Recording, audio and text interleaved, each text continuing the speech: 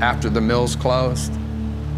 It hit everybody pretty hard. A lot of people went on welfare. Certain sections of the town became ghost towns.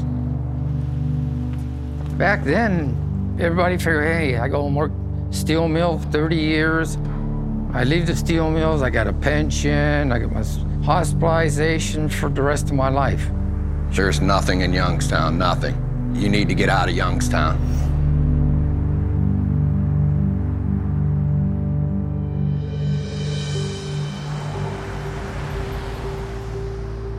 I did look outside this area because I didn't think this was going to be something that could actually provide a life for me and maybe my potential family. So I made the decision to go to Heidelberg University to major in biology with a medical track um, in mind. Uh, I was going, doing very well. I was still playing football. I was coming into my second year, and uh, my grandfather called me and gave me the bad news. He wasn't going to be able to run his shop I need to get home and I need to help my grandpa's business out, or else this business that was flourishing for 40 years is going to fail and be no more, and his legacy might be ending at that point in time. So I took off uh, about two semesters of school to help my grandfather run this business, and I, I did quite well for myself. My grandpa at that time actually beat cancer. He came in, we worked side by side, taught me my trade as being a welder, taught me how to be a fabricator. And through my time with him, I got a chance to see what, what was needed to, uh, to run a business. If I didn't have him, I, I don't think I'd be in this position today. What are you doing? You're learning. You're learning how to what? Add. Add. Yeah. Is this the first time you've ever done this in your life? Who taught you this? Dad. I bought her a lot of uh, educational uh, items like games. She would get hundreds, 100% on this. And then when she got to school, she might got a B once in her whole life. When she had a goal, man, she had to finish it and she had to do it A plus or there was trouble. We had to make it an A plus plus. Okay, let's try that again. Growing up, I always wanted to do something with animals. I had a a huge passion for animals, but all of that changed my sophomore year in high school when my math teacher pulled me aside and asked, You enjoy math, don't you? And I said, Yes, I love math. I, I love school.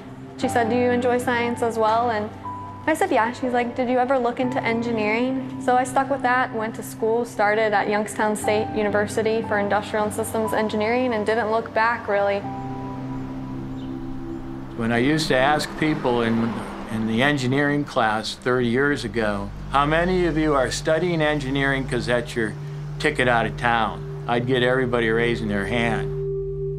I met a, an individual named Dr. Marty Cala one Saturday afternoon, and uh, it probably changed the rest of my life. For a couple weeks, I was welding underneath his uh, 1967 uh, convertible Chevelle. There's a pair of feet sticking out from underneath my car, and I'm like, what are you doing underneath my car welding? You should be in college. And he said, oh, I am. I'm, I'm a pre-med student. I said, no, you're not. You're an engineering student now. So I think there was a, a couple times where I sat back and I was, I got done welding and I just didn't want to do this anymore. I wanted to do something that was meaningful.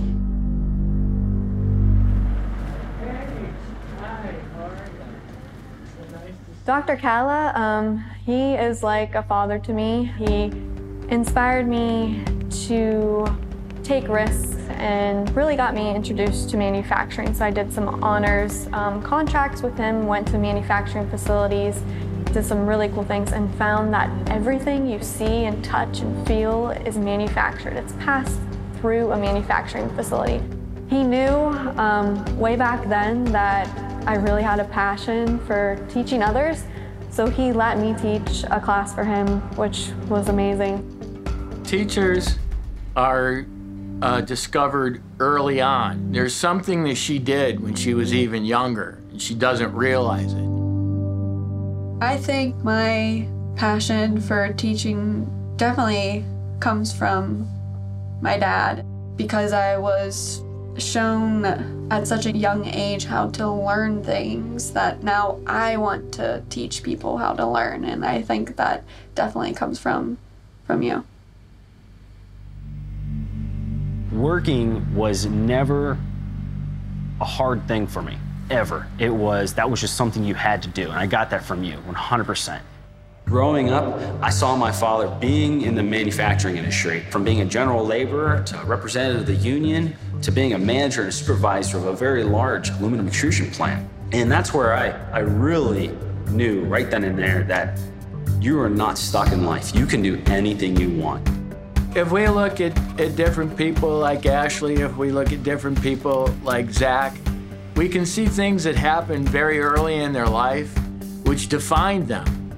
And as much as some of them tried to define themselves as something else, they came back to what they were. So I had a tour at America Makes, saw the 3D printers, and needed an internship there. I had to do whatever I could to get into the, the door of this facility. What's great about Ashley is she connects with the generation that we depend on. Ashley uh, was an intern uh, for us when she was at the university. When she came here, she didn't know a lot about 3D printing. She learned herself. She really got into this idea of changing the world through a technology called 3D printing. I mean, Zach is just a testament to grit, hard work, determination, and actually making a real difference because he's got the fortitude and the determination to, to not fail. American Makes has definitely helped me as a young business owner in the Youngstown area um, network with individuals and companies I would have never had a chance to, to be in touch with without them. As soon as I was done with college, I was leaving. But then American Makes was founded. And then there was research opportunities. And then all of these different pieces were coming to Youngstown, Ohio. And now I never want to leave. Being downtown, um, right next door to American Makes, being in the building of the Youngstown Business Incubator, um, seeing professors from Youngstown State on a daily basis, being able to work with everyone here, I can see this company growing to a point that uh, is definitely another reason Youngstown's on the map. Zach and Ashley's stories are living proof of the impact public-private partnerships can have in our communities. The Manufacturing USA Institutes are bringing together people, organizations, and government to rethink and improve our country's manufacturing.